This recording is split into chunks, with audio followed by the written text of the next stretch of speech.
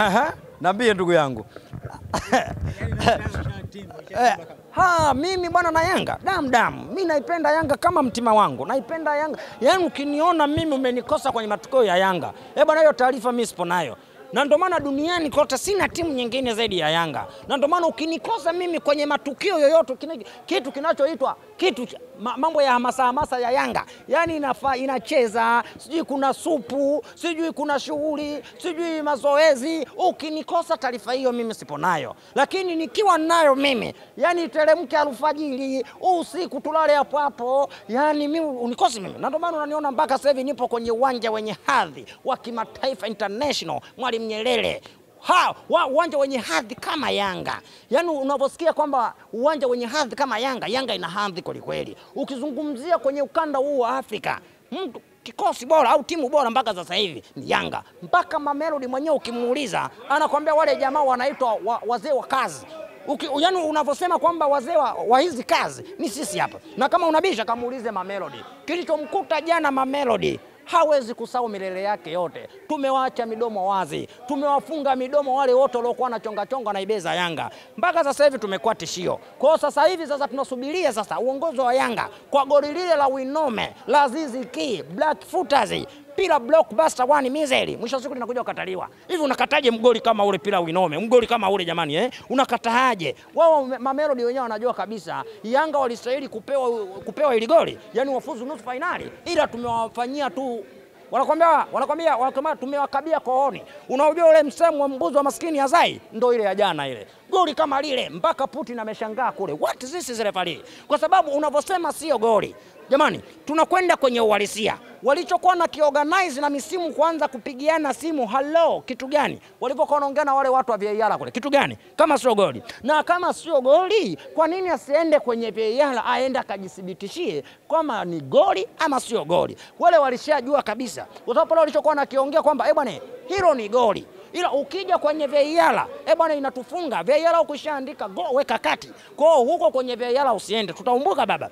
Timu ya rais, kwa sababu ile timu mpaka sasa hivi ni ya rais, mheshimiwa wa rais kwa chama cha kafu. Kwa jana ile rais wa kafu tulikuwa tunamvua nguo, maana tena nyumbani kwake naye mwenyewe yupo majukwani, tulikuwa tunamvua nguo. Kwa hiyo sasa, ili kumvisha nguo yule rais, ndo akaamua kuibeba ile timu. Kwa ile timu mpaka sasa hivi kumbe zile zile, nasikia yale makombe alobeba kuna kombe la African League na kuna kombe la FL. Sasa yale makombe ambayo ameyabeba yule mtu kumbe ni kubebabebwa mbeleko mbeleko tu, lakini ukija kwenye uhalisia ni mbovu kweli kweli. Hapa Tanzania ile timu naifananisha na IF au kule kuna timu kwa, kwa jezi zilivyo kwa za njano na kijani naifananisha na Toto Afrika kutoka Mwanza. Ile timu hamna timu mle, hakuna cha Ile jana tuliwadhibiti kila idara, alafu sasa Hebu angalia kwanza kwanza, mpaka mechi ya kwanza, mkondo wa kwanza tuliocheza hapa, tulitoka sare ile. Unaona walipiga mahesabu baada ya ile sare, walipiga mahesabu ya kichwa mpaka kichwa kinataka kupasuka, mpaka yule kocha akaanza kuhesabu, Pacome hayupo, sijui alidi nani alidi nani yule alidi Aucho hayupo,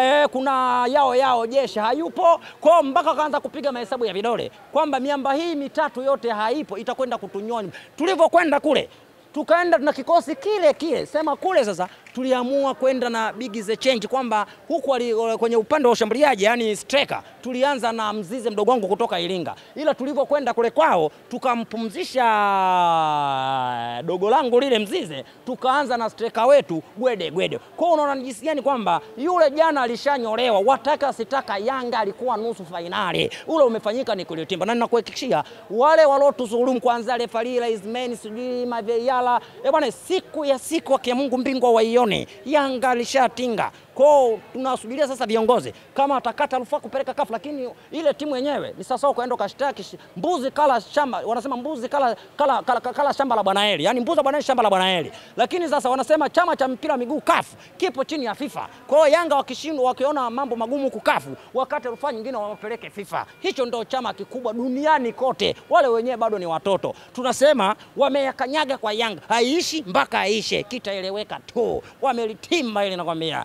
tushatinga goli halali shehe. E, wakali wa hizi kazi block basa wani meza unakataje mgoli kama ule wa pila Winome e, na ndio maana tupo hapa tunaanikiza anikiza timu yetu inateremka muda si mrefu hapa tuna, tunasema kabisa tunasema kabisa, mimi najua kwenye chini ya jua hakuna kinachoshindikanika. sheria zitafanya mkondo, zitapata mkondo wake, watu wataangalia ile goli goli halali sio halali. Baba, mimi na uhakika kabisa yule Mamelo kama haki itatendeka haitoangalia rais wa kafu eh bwana, tunamgudu ile ambayo tunaingia nusu finals, na ndio maana tuko hapa tunaendelea kuanikiza kwamba ingawa tumetolewa kwa magoli yale ya maisha ni kombolela butoa uokoe wenzio, tunakuja kuwapa hamasa wachezaji wetu kuelekea mechi zinazofuata. Kuna makombe mawili, kuna kombe la FA, kuna kombe la ligi kuu. Kwa hiyo tumekuja kuwatoa pressure. Unajua, unapokwenda kwenye mchezo ule umezulumiwa goli, unakwenda kwa njia penalti afu unatolewa, kiukweli hata wewe mwenyewe mchezaji unatoka kimchezoni. Kwa hiyo tunakuja kuwama, kuwapa hamasa wachezaji wetu kuelekea mechi za ligi kuu pamoja na FA. Mimi na imani lile toto lile likienda si nimeingia nusu finali timu atakokwenda kukutana nayo eh, Mwenyezi Mungu naomba tusimamie sisi, dua ziwe kwetu. Eh bwana, mechi ya kwanza kapigwa tano, mechi ya pili tano,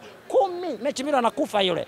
Haiwezekani ukate, yani hata malaika mwenyewe jamani, anatuangalia sisi ni jini gani tumetoka pale jana jamani, tumenyanyaswa, tumenyongwa sisi, goli halali unakataaje?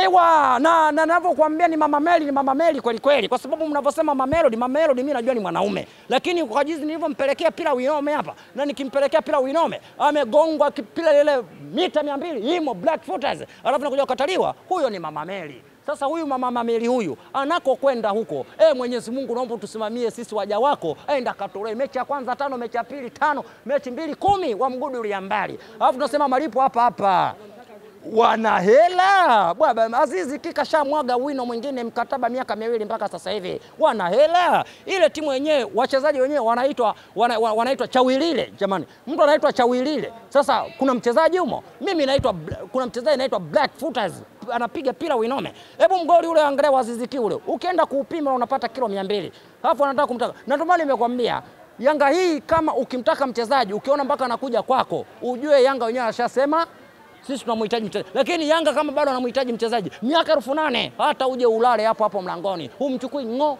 Kwanza sisi tuna michuano msimu ujao, tena tuna mechi za kimataifa. Kwa hiyo hapa tulipojifunza, maana malengo sasa hivi mpaka tumetolewa juzi ilikuwa ni kuingia makundi, lakini tukavuka makundi tukaingia robo fainali. No, robo fainali tumeenda tumezurumiwa. Sasa msimu ujao tunavunja rekodi ya kuishia robo fainali ya watoto wale ambao mwaka wangapi? Mwaka wa tano, wao ni wakina wazee wa, wa, wa, wa robo wanaitwa mwaka robo eh, na ndio maana walivyosema kwamba tunaitaka nusu. Mimi nikawa najiuliza, nasema hii nusu ya nini?